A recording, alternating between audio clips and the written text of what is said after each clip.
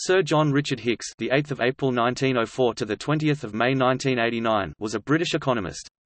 He was considered one of the most important and influential economists of the 20th century. The most familiar of his many contributions in the field of economics were his statement of consumer demand theory in microeconomics, and the IS-LM model 1937, which summarized a Keynesian view of macroeconomics. His book Value and Capital 1939 significantly extended general equilibrium and value theory. The compensated demand function is named the Hicksian demand function in memory of him.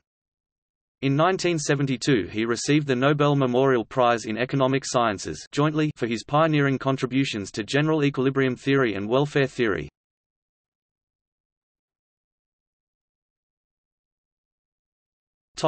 Early life Hicks was born in 1904 in Warwick, England, and was the son of Dorothy Catherine Stevens and Edward Hicks, a journalist at a local newspaper. He was educated at Clifton College 1917 1922 and at Balliol College, Oxford 1922 1926, and was financed by mathematical scholarships. During his school days and in his first year at Oxford, he specialized in mathematics but also had interests in literature and history. In 1923, he moved to philosophy, politics and economics, the New School, that was just being started at Oxford. He graduated with second-class honours and, as he stated, no adequate qualification in any of the subjects that he had studied. Topic career From 1926 to 1935, Hicks lectured at the London School of Economics and Political Science. He started as a labor economist and did descriptive work on industrial relations but gradually, he moved over to the analytical side, where his mathematics background returned to the fore. Hicks's influences included Lionel Robbins and such associates as Friedrich von Hayek, R.G.D.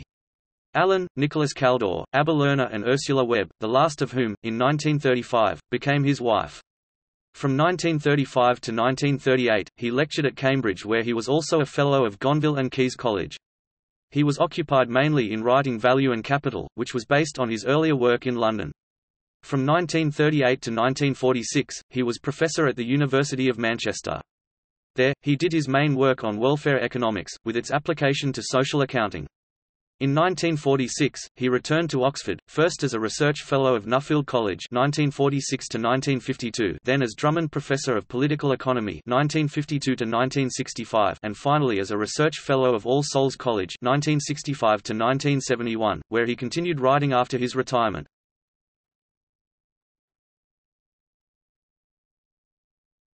Topic: Later life Hicks was knighted in 1964 and became an honorary Fellow of Linacre College. He was co-recipient of the Nobel Prize in Economic Sciences with Kenneth J. Arrow in 1972. He donated the Nobel Prize to the London School of Economics and Political Sciences Library Appeal in 1973. He died on 20 May 1989 at his home in the Cotswold village of Blockley.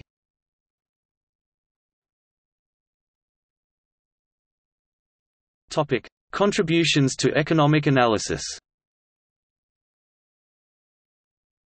Hicks's early work as a labor economist culminated in the Theory of Wages 1932, 2nd ed. 1963, still considered standard in the field. He collaborated with R.G.D. Allen in two seminal papers on value theory published in 1934.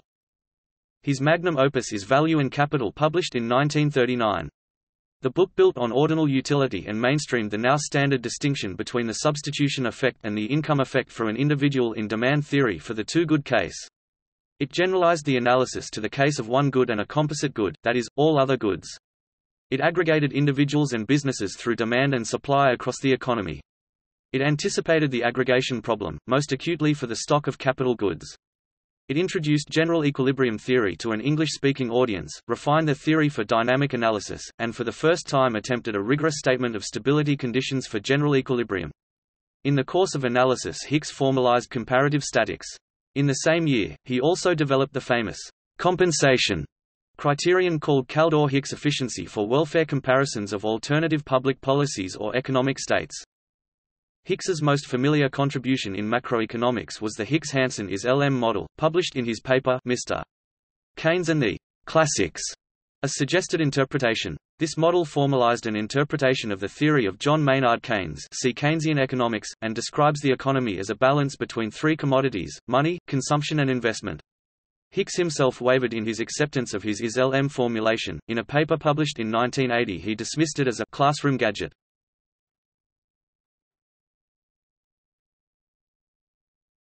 Topic: Contributions to interpretation of income for accounting purposes.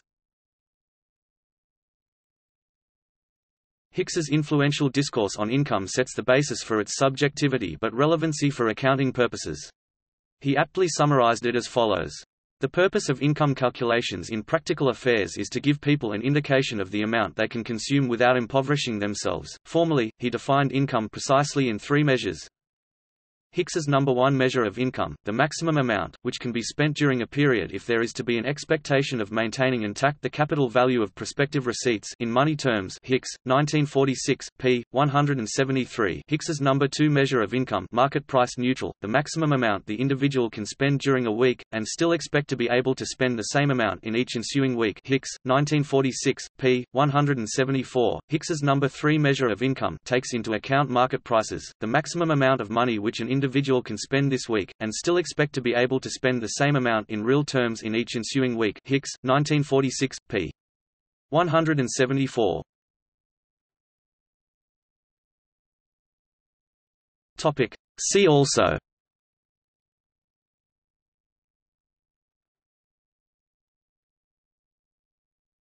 Topic. Selected publications 1932, 2nd ed., 1963. The Theory of Wages. London, Macmillan. 1934. A Reconsideration of the Theory of Value. With R. G. D. Allen, Economica. 1937. Mr. Keynes and the Classics, A Suggested Interpretation. Econometrica. 1939. The Foundations of Welfare Economics. Economic Journal. 1939, 2nd ed. 1946. Value and Capital. Oxford, Clarendon Press. 1940. The Valuation of Social Income. Economica, 7 to 105-24. 1941. The Rehabilitation of Consumers' Surplus. Review of Economic Studies. 1942. The Social Framework, An Introduction to Economics. 1950. A Contribution to the Theory of the Trade Cycle, Oxford, Clarendon Press 1956. A Revision of Demand Theory, Oxford, Clarendon 1958. The Measurement of Real Income. Oxford Economic Papers 1959. Essays in World Economics, Oxford, Clarendon Press 1961. Measurement of capital in relation to the measurement of other economic aggregates. In Lutz and Haag, editors, Theory of Capital. 1965. Capital and Growth. Oxford, Clarendon Press. 1969. A Theory of Economic History. Oxford, Clarendon Press. Scroll to chapter preview links. 1970. Review of Friedman. Economic Journal. 1973. The Mainspring of Economic Growth. Nobel Lectures, Economics 1969–1980, editor Assar Lindbeck, World Scientific Publishing Co., Singapore, 1992. 1973. Autobiography for Nobel Prize 1974. Capital Controversies, Ancient and Modern. American Economic Review. 1975. What is Wrong with Monetarism? Lloyd's Bank Review. 1976. Economic Perspectives. Oxford, Clarendon Press. 1979. The Formation of an Economist.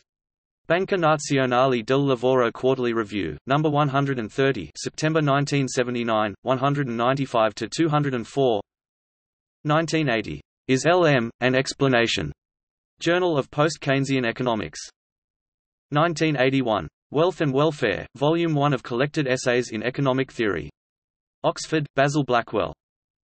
1982. Money, Interest and Wages, Volume 2 of Collected Essays in Economic Theory. Oxford, Basil Blackwell. 1983. Classics and Moderns, Vol. 3 of Collected Essays in Economic Theory. Oxford, Basil Blackwell.